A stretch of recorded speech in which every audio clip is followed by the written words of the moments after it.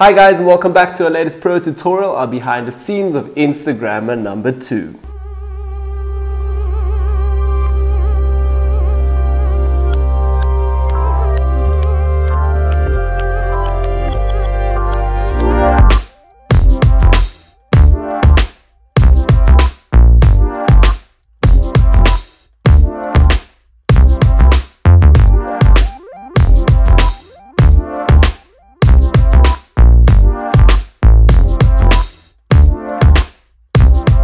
Yeah, so for this project, our idea was again to showcase a really cool looking Instagrammer. But not only that, also an Instagrammer who's physically out there and taking shots every day of urban stuff, city stuff, whatever, just a very active Instagrammer. And we found Tobin, he's a South African Instagrammer and takes really cool shots of everything.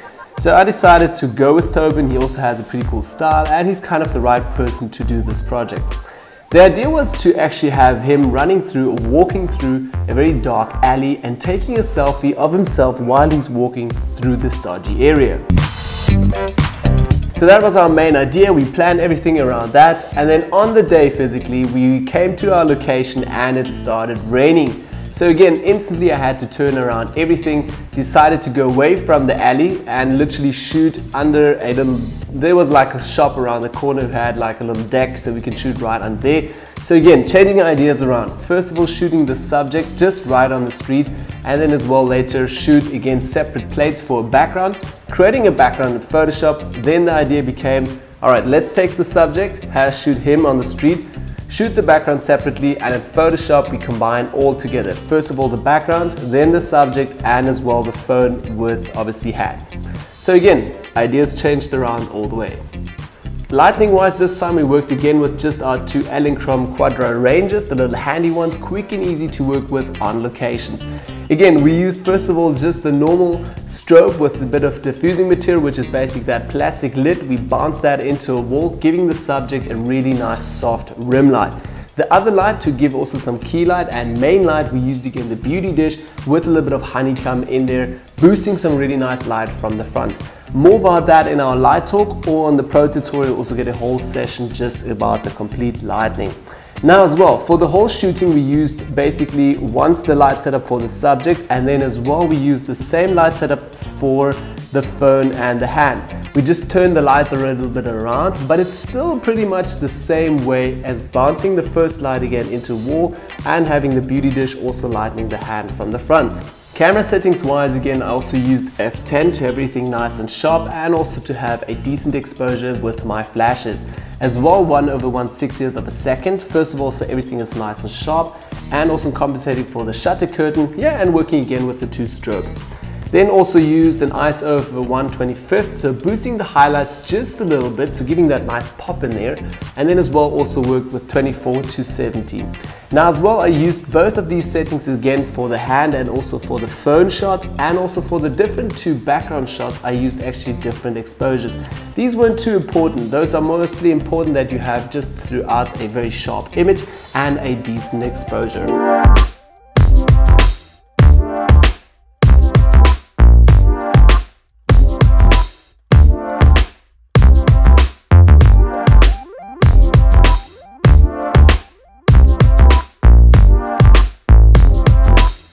Props and outfit this time again. For me very important first of all having the instagrammer then as well also having an iphone 5 white and black and then obviously a little bit more detail on the subject itself.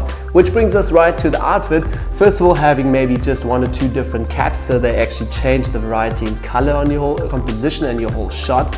Then as well having a nice reflected jacket maybe a dark and a white or a brighter one as well like a shirt also a white and a dark one so we can change again between the varieties between jacket and shirt. Yeah and then also maybe some little small details like headphones necklace or maybe rings. And he had some nice headphones actually simple ones and also just some normal rings on there again.